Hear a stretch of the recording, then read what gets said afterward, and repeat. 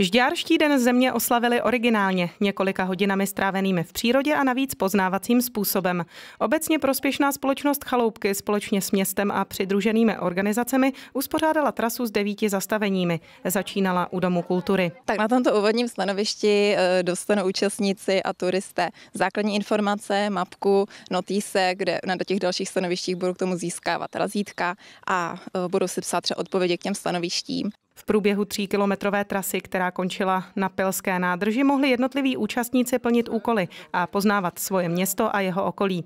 A to celkem na devíti zastaveních. Některá z nich byla interaktivní, například lesácké stanoviště, kde byly vystavené trofeje zvířat, anebo stanoviště na sádkách. Tady návštěvníci uvidí jednotlivé druhy ryb, které nejenom žijí u nás ve vodách, ale některé exotické, třeba jeseter malý. Vlastně veškeré věci týkající se vody a vodního ekosystému i mokřadního ekosystému, takže od kytiček přes broučky až po ty rybičky.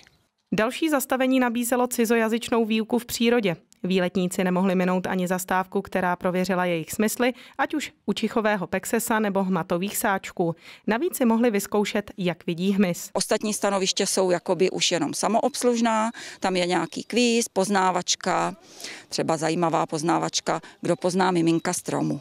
Účastníci, kteří došli až na závěr tříkilometrové trasy, se mohli občerstvit u nedaleké studánky Salvátorka.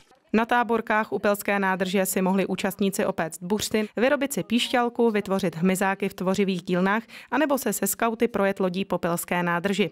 Čekala je také ukázka geocachingu a divadelní férie dětí ze čtvrté základní školy. To budou splosti ptáčci, vystřižení a přelep, eh, přelepení tady na kolíček.